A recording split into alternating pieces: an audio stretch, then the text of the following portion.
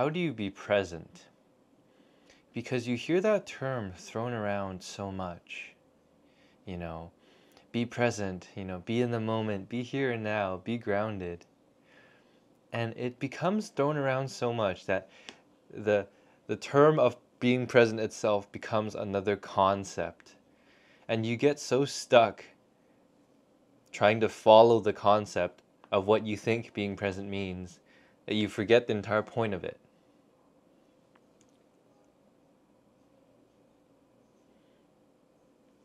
For a long time in my life, I was trying to make sense of it all. You know, trying to get somewhere and make it to a destination where I would finally feel complete, where I would feel good enough, where I would feel attractive enough, where I would feel confident enough, where I would feel fit enough, where I would feel wealthy enough, where I would feel abundant enough, where I would feel peaceful enough. But what presence teaches us is that you don't need any of these things because these things are inherent in you as you. And it sounds absurd to say that because we are so identified with the concept of things. You know, the concept of status, the concept of money, the concept of, of fame, the concept of attractiveness, the concept of wealth, the concept of peace, the concept of presence. We get so tangled up into all these things that we have to be. We have to be, we should be, we must be. That we lose the presence in the here and now. Because the entire effort of trying to be here and now is another way of trying to attain. And when we try to attain things, it's a trap because the future can be put off for an entire lifetime. And there's nothing to attain. Attainment is now, in this moment. What is being present? It's not a concept. All that being present is, is seeing how this moment shows up and responding to it. Without a preconceived notion of what the moment is or what it means, but allowing the moment to flow through us as we are like empty canvases or like the clear blue sky which clouds float over. But we become so identified with the clouds that we, we begin to cling on to the clouds when who we really are is the clear blue sky. You know, whether it's daytime or whether it's nighttime, whether it's cloudy, whether it's raining, whether it's snowing, whether it's sunny, the sky is always there in its unchanged form. And it's when we become caught up in the changing form of the day and the night, of the clouds and the clearness, of the rain and the snow, when we beget when we when we become caught in the form of appearances through which the empty canvases the empty canvas allows it to manifest that is when our anxiety develops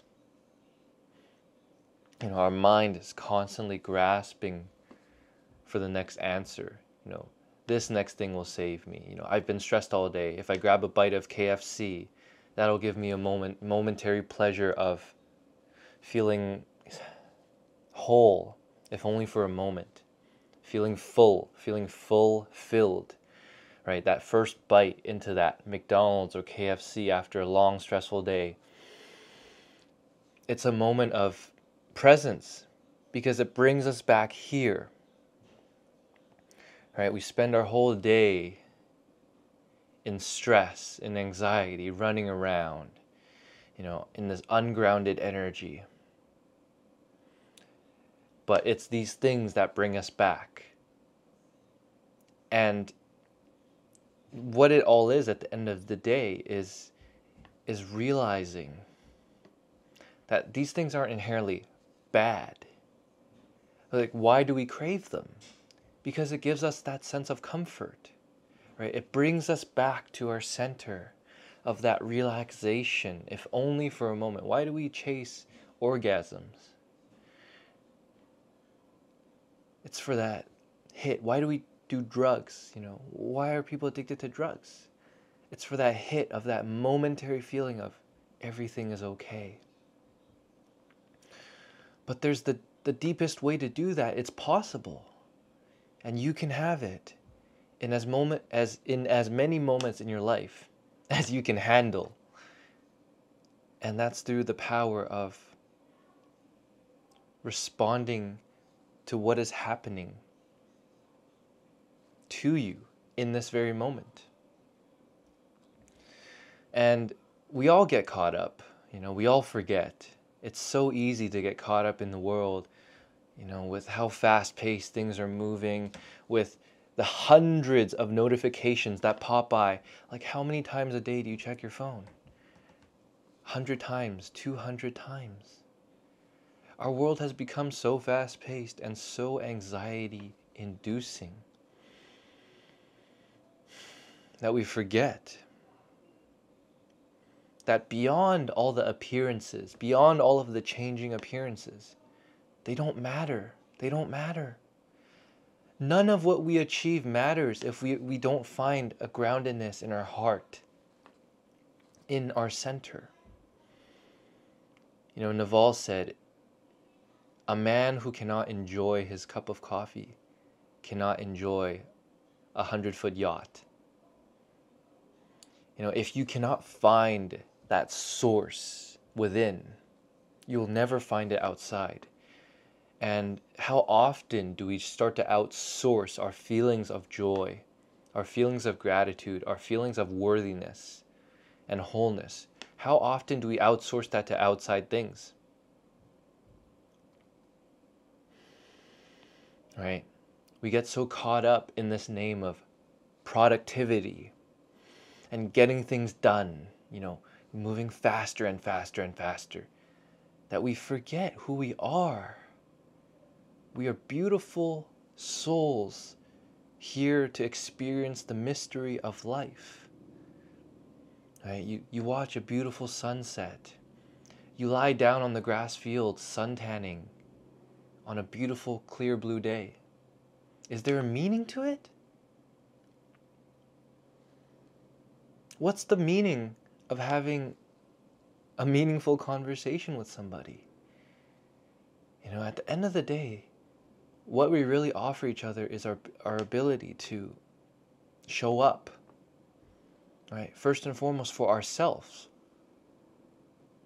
And when we are able to show up for ourselves, as ourselves, through ourselves, then we can start showing up for others.